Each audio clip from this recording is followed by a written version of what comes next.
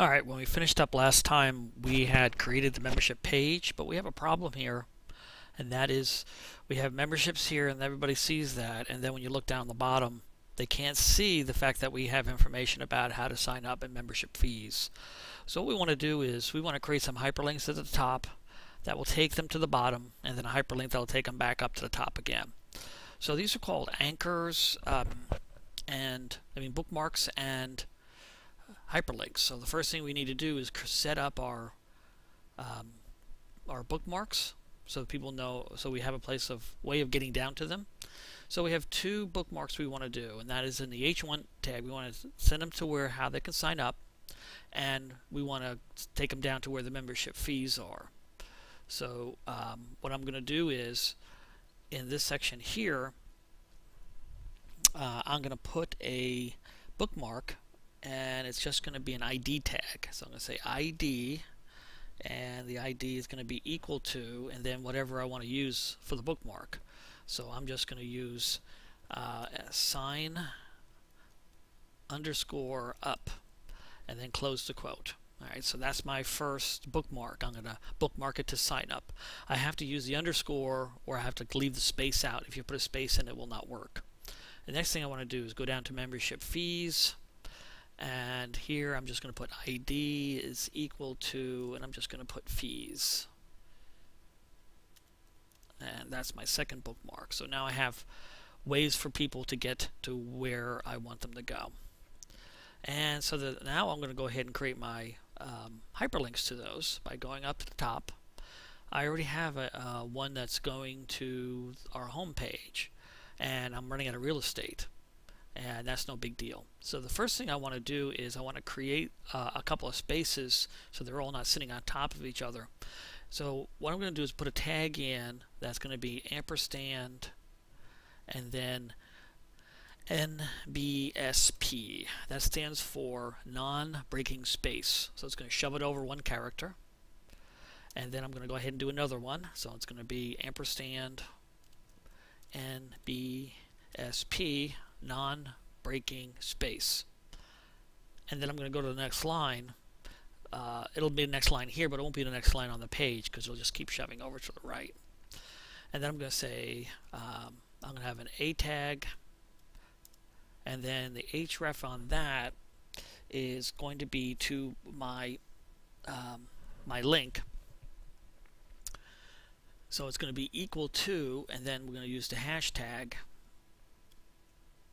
and then the name of the bookmark. So if I go down to the bookmark, the first one is sign up. I'll use my friend's copy and paste.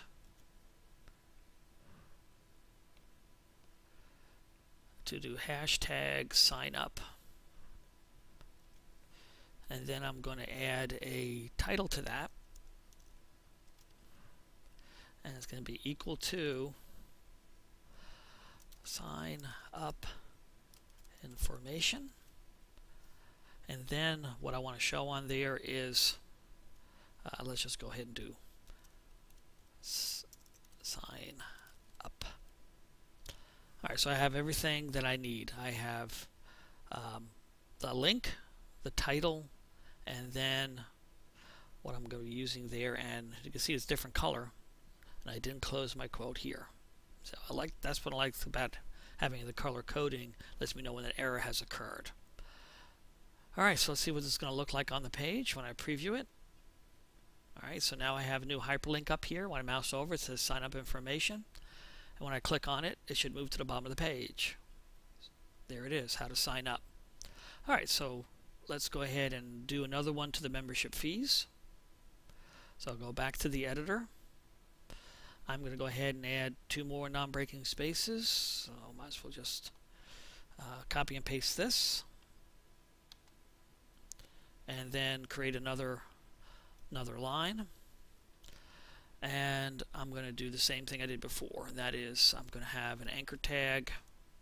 The href is going to be to hashtag and then move down. Next one says fees. I copy that. And then I move up and I type paste in fees. and then I'm going to add a title and it's going to be equal to see our fees and then inside I'm going to type for the hyperlink just fees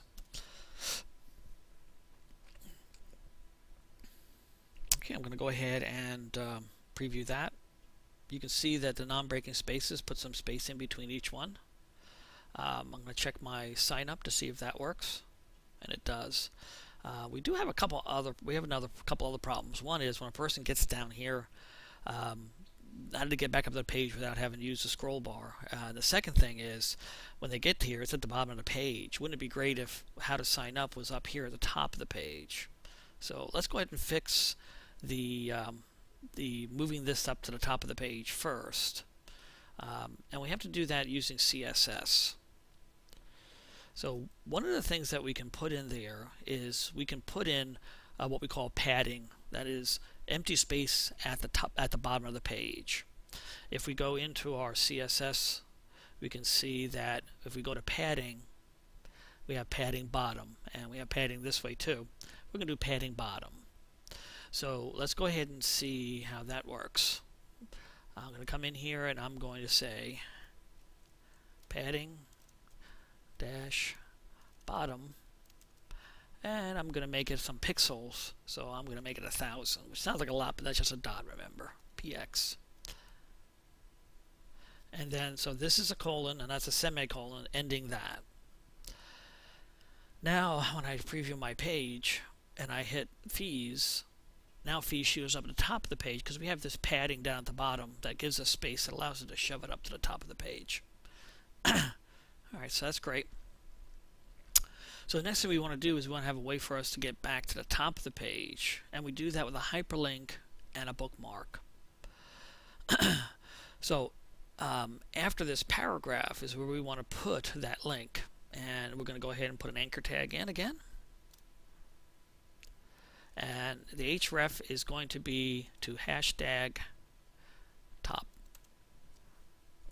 And you're probably thinking, wait a minute, wait, Mr. Brady, why haven't we gone ahead and put a top at the top of the page. And uh, the reason why we didn't is because um, it's already built in. And then we'll put a title. And we'll say the type, title is equal to go back to the top of the page. Close that. And here we'll just put a little less cryptic, I mean a little more cryptic, back to top. Alright, so we have, uh, we didn't create an anchor. The anchor of top automatically brings them to the top.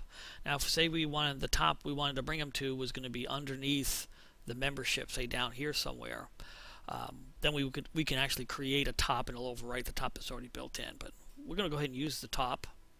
So now when I click on sign up, it goes down to sign up. I click on back to top, it brings us back up to the top. And that's great. So now that we made that one, we actually don't have to reinvent the wheel. Uh, we want to have this same one here to be down below this uh, our last membership. So underneath our last paragraph, we're going to paste it in. It's the same as that one, so we're going to use that. And then I'll preview it. And then we'll go to sign up and then we'll go back to top and then I'll go to fees and when I mouse over back to top I get that go back to the top of the page just in case I couldn't figure that out uh, and there we are that's excellent so now we've added some functionality. We learned about bookmarks. We learned about hyperlinks. We learned about attributes of a hyperlink. We've learned how to add uh, blank space to the bottom of our page for some functionality.